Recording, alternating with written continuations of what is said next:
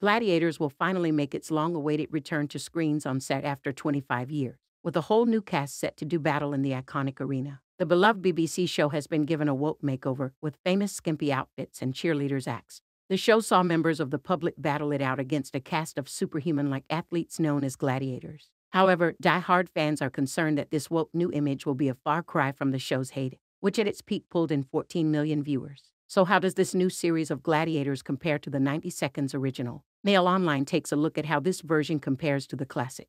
This new version of Gladiators sees a brand new cast of 16 athletes going head to head with contestants. One of the most iconic from the original series was Michael Van Wijk, aka Wolf, who owns a gym called Wolf's Gym in Auckland, New Zealand, where he now lives.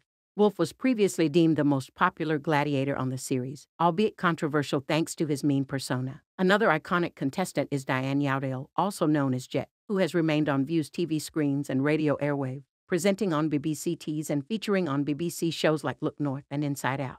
Diane hit the headlines again in July when she revealed she's engaged. The former athlete said on the Chillin' with Ice podcast just over a year ago, A gorgeous lady approached me in my local supermarket, and over a year later, we're going to get married. Among the 16 athletes set to make their Gladiators debut is the monstrous giant, who at 6 feet 5 inches towers over his competitors. The hunk, who eats over 10 calories a day, said, The weirdest moment for me was when I was competing on duel. I was looking across at the contender, and just beyond his shoulder, I spotted Saracen, one of the original gladiators in the audience staring at me. This new series also has inclusivity at the forefront, with Fury set to be the show's first ever deaf gladiator. Describing it as her superpower, she said, I am used to playing rugby in front of crowds so I don't feel nervous. In Sheffield, the crowd and the atmosphere was just amazing, and I just took it all in and really appreciated how amazing everyone was.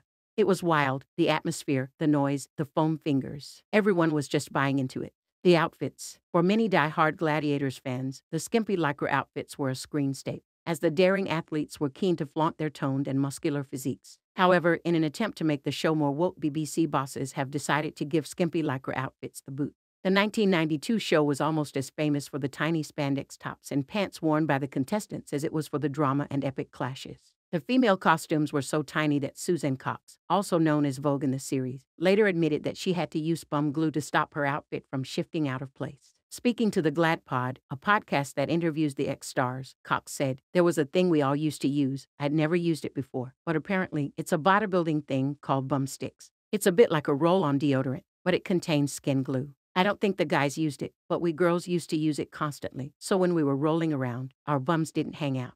Now, the ladies who will take on the challengers will be wearing aerodynamic outfits favored by Team GB athletes. This series has also seen the famous cheerleaders face the acts by bosses. G Force was a group of eight women who would perform an array of dance routines alongside the contestants and gladiators.